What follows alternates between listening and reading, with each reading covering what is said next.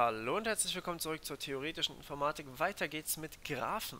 Ähm, letztes Mal habe ich euch gezeigt, wie man einen Graphen äh, tatsächlich schön darstellen kann, also ähm, grafisch eben, ha, grafisch, grafisch äh, hingemalt sozusagen und dieses Mal möchte ich euch eben diese Adjazenzmatrix zeigen äh, für einen Graphen. Ähm, ich versuche mich hier gerade nochmal, ähm, beziehungsweise ich zeige euch einfach das Bild von letztem Mal. Das wäre das hier und ähm, ja, ähm, was das ist, ist folgendes. Also wir haben hier einen Graphen mit den Knoten H, K und B, mit den Kanten äh, von H nach K, von K nach B und von H nach B.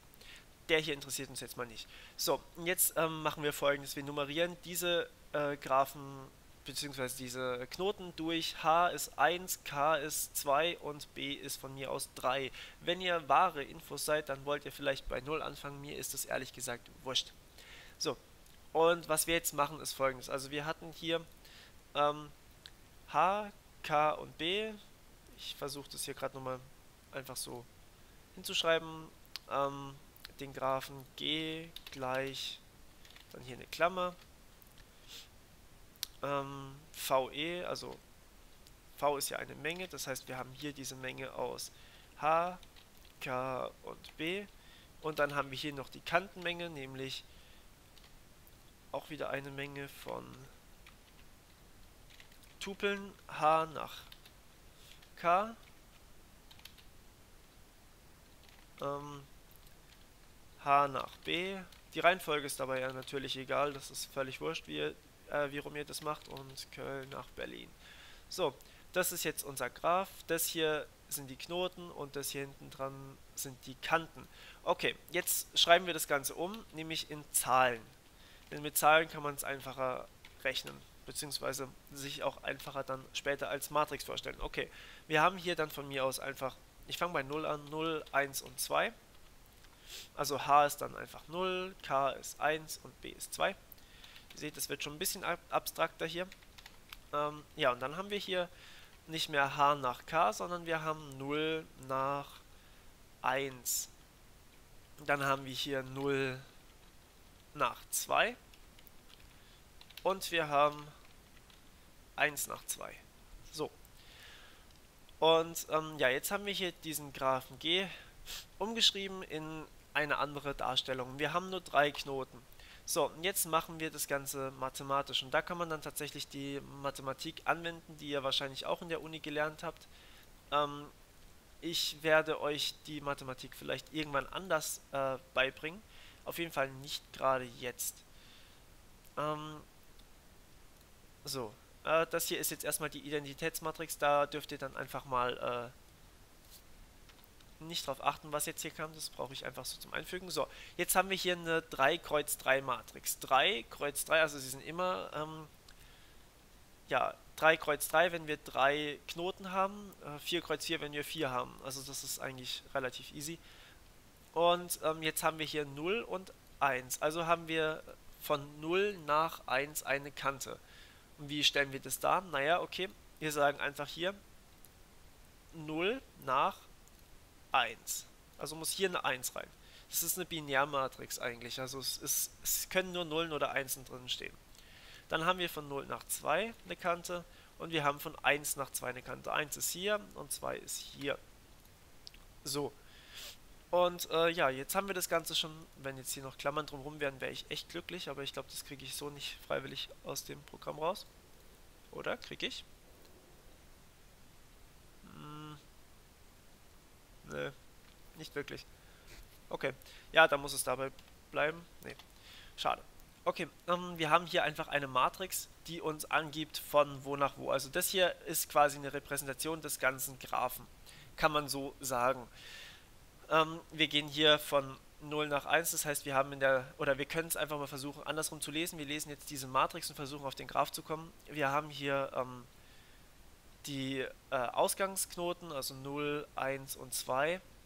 Und wir gehen zu Knoten 0, 1 und 2.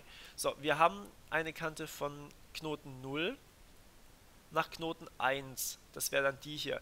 Wir haben eine Kante von Knoten 0 nach Knoten 2 und wir haben eine Kante von Knoten 1 nach Knoten 2. Wenn ihr bei 1 angefangen habt, hat sich das natürlich einfach alles um 1 verschoben.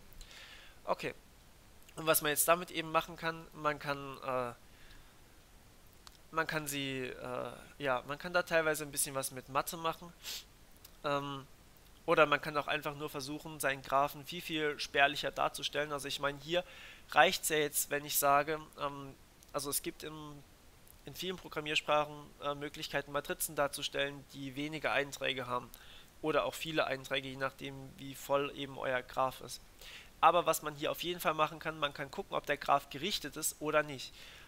Hätten wir jetzt nämlich hier ähm, noch 1, 1 und 1 stehen, dann würde das bedeuten, wir haben von 0 nach 1, aber wir haben auch von 1 nach 0. Ihr erinnert euch, das wäre dann genau diese Möglichkeit hier von 0 nach 1 und von 1 nach 0. Das heißt, wir haben hier eine Kante in beide Richtungen. Also ist, es, ist diese Kante hier schon mal ungerichtet. Und wenn wir das eben ähm, für jeden haben, hier, für, äh, von, 1 nach, äh, von 0 nach 2 und von 2 nach 0, und wir haben von 1 nach 2, äh, ja, von 1 nach 2 und von 2 nach 1 haben wir auch. dann haben wir jeweils hier in beide Richtungen eine Kante und haben dann tatsächlich einen ungerichteten Graphen. Das heißt, das kann man sehr schön aus dem ähm, ja, aus dieser Adjazenzmatrix äh, ablesen. Ich schreibe euch das Wort gerade mal hin. Ad Adjazenzmatrix. So. Ähm, das heißt, das hier kann man wunderbar ablesen. Und ja, ähm, ich tue das gerade mal wieder rückgängig machen hier. So, und was bedeuten diese Dinger hier? Das bedeutet ja von 0 nach 0 eine Kante. Jetzt geht es überhaupt? Ja, das geht. Das nennt sich dann Schleife. Und da werde ich euch dann gerade mal noch einen aufzeichnen mit einer Schleife. Das kann auch ein einzelner sein. Das hier ist ein Graph, ein vollständiger Graph sogar. Sagen wir einfach mal, der hier hat den Knoten 0 und eine Schleife von mir aus, dann machen wir das so. Ähm, das hier unten bitte ignorieren, das war gerade keine Absicht. Eine Schleife sieht so aus. Ähm, wir haben einfach einen Graphen ähm, mit einem Namen, also einen Knoten mit einem Namen und einem Pfeil auf sich selbst. Und das ist dann tatsächlich hier in der Adjazenzmatrix eine 1 auf der Diagonalen.